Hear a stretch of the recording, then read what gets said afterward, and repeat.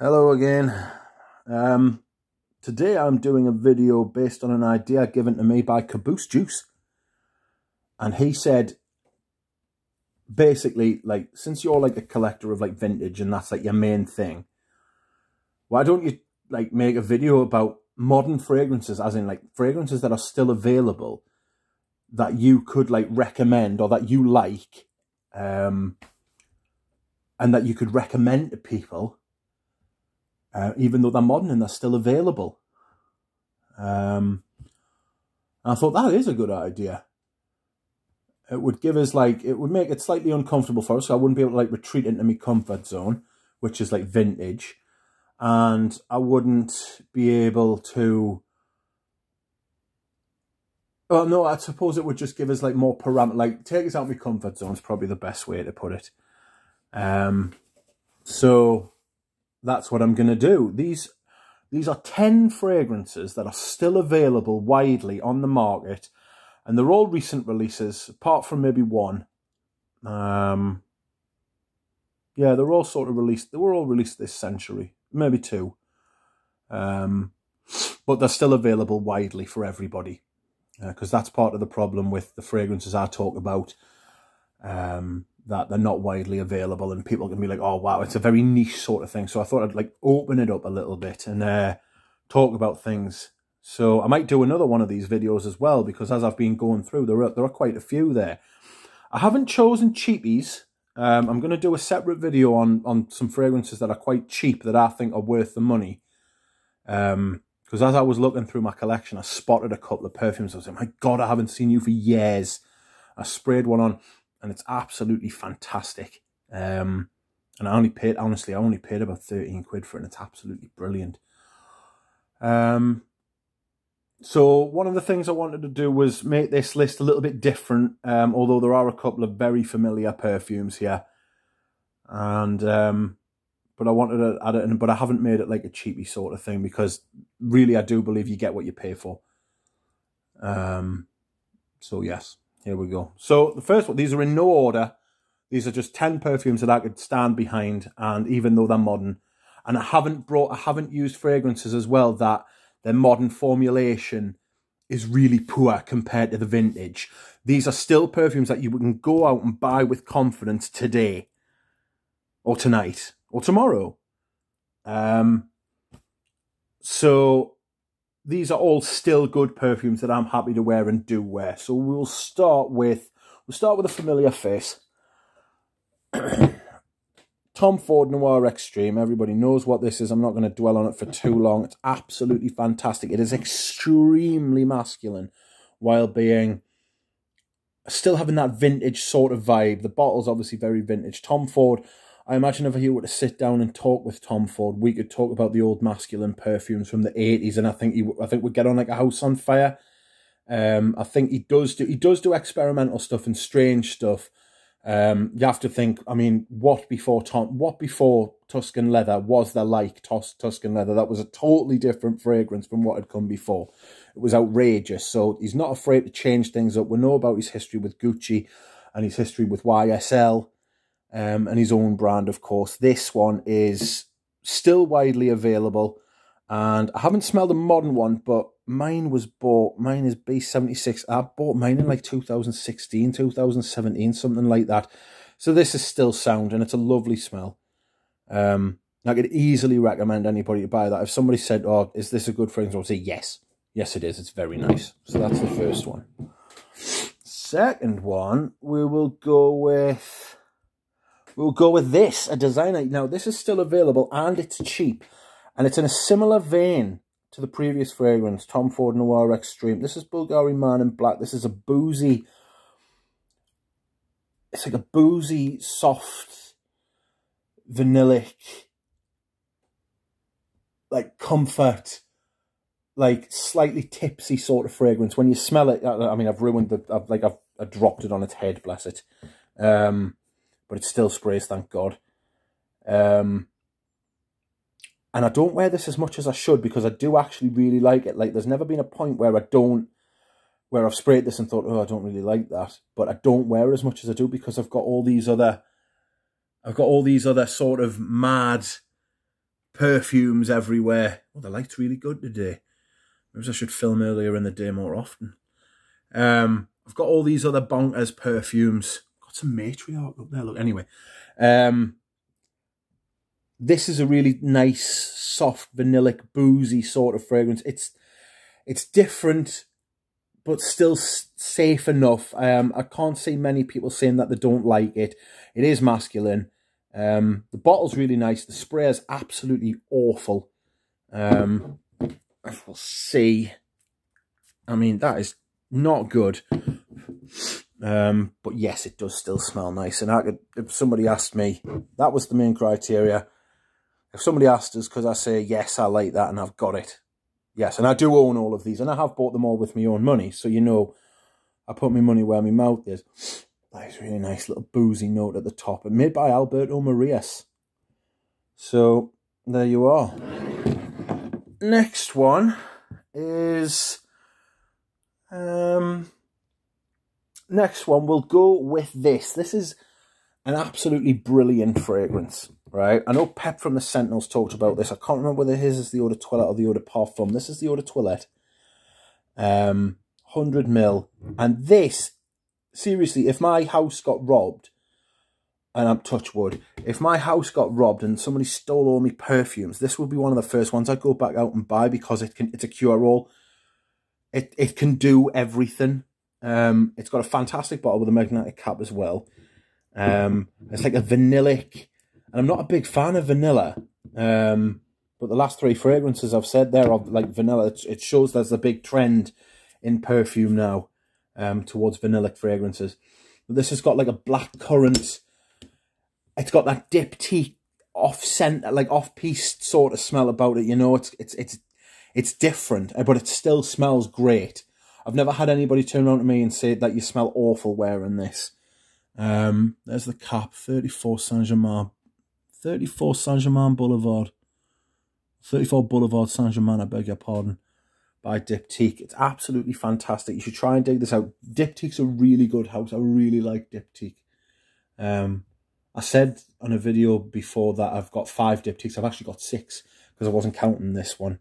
You could wear this year round if you wanted, but I tend to wear it in the autumn and the spring. So it's a it, it's one of those perfumes that actually sticks in me like um, rotation all year round. I've only got a few because I'm pretty ruthless when it comes to like putting them in that place. Um, but this is one that you could easily, if you needed a signature scent, this would be one of the ones I would go out and buy straight away if I lost all my perfumes. Um, number four is, we'll go with this. A little bottle of Herba Fresca.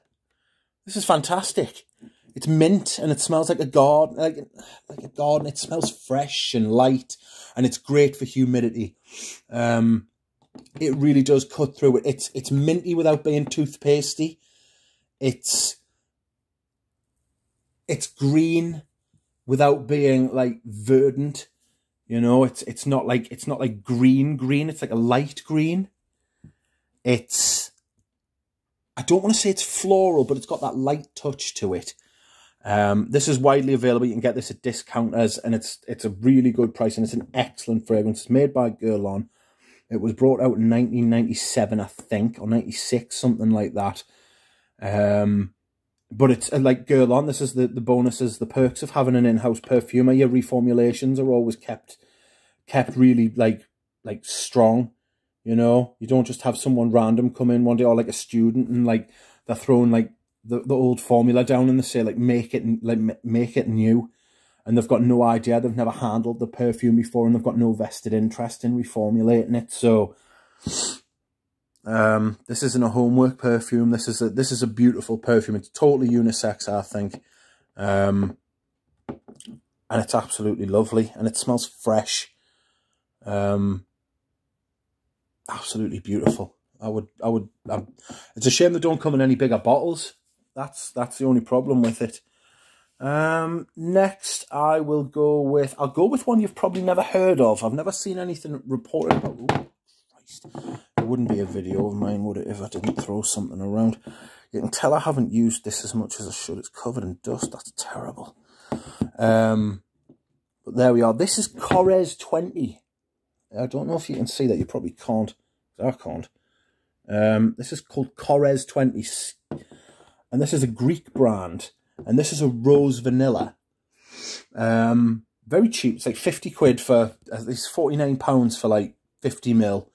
Um, but it's a lovely fragrance, a light rose and a, and a very, and a very sort of light vanilla as well. It's not too strong, but it smells, it smells really good. It's decent quality for the money. I wanted to get one in here that was like a little bit different, but also wanted to get one that was like not going to break the bank either.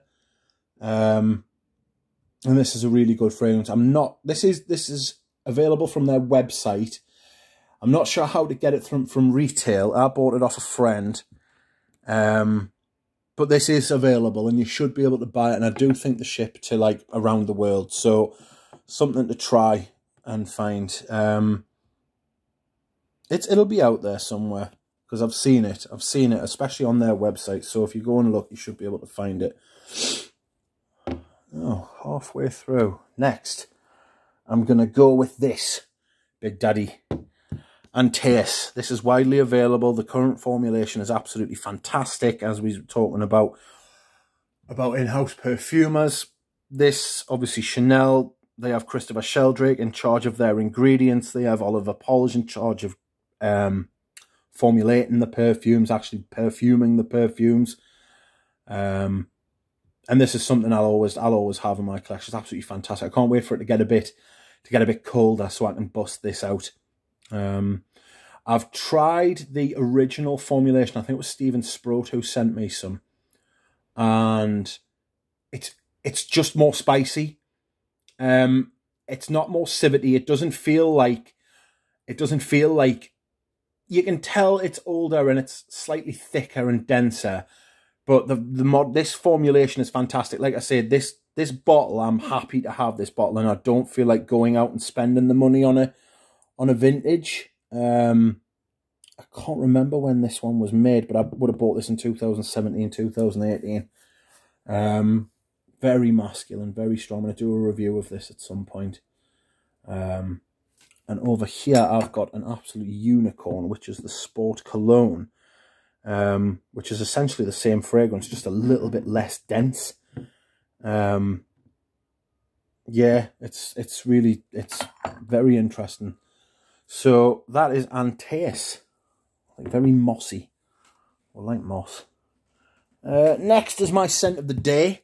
This is still available in shops. I wasn't sure whether to put this on or not. This is Gucci Guilty Absolute. Every There's nothing I can say that you haven't already heard. It smells like a hospital floor.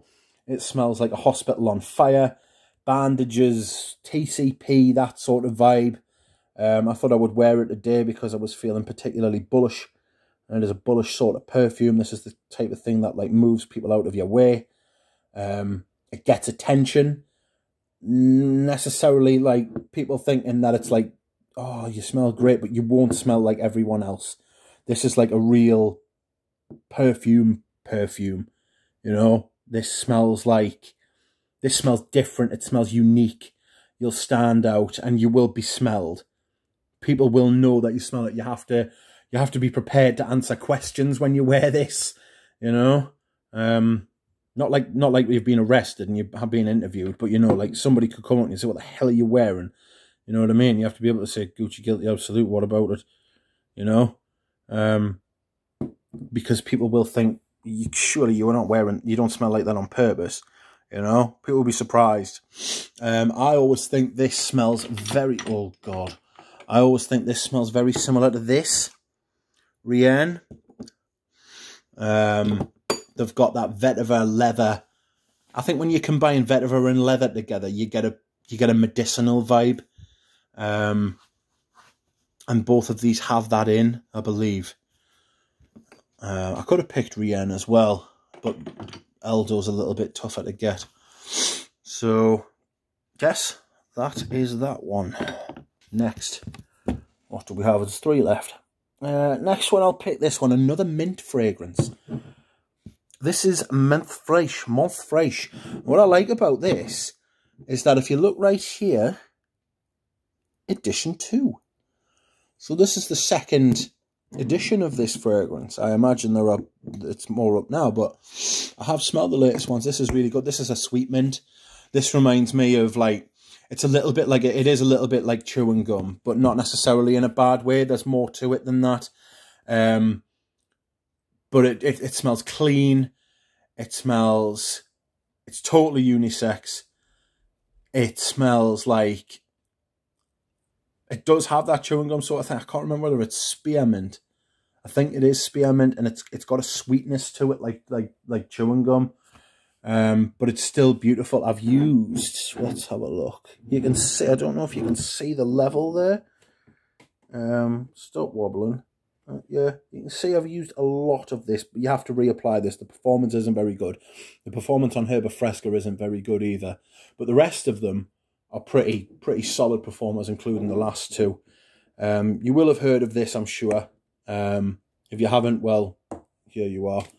It's uh, Heeley. I haven't smelled it. I've, I haven't smelled anything else from the brand, unfortunately.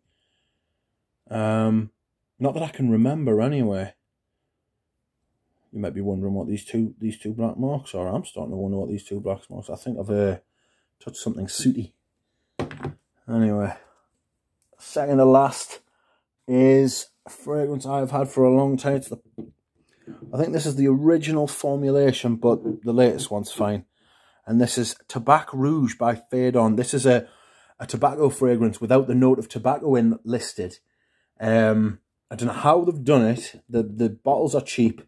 Um, it's just a bottle with a label with a like this is like a this is like a like a covering that goes over the bottle. Like you could scratch this off and it would just be like a clear bottle.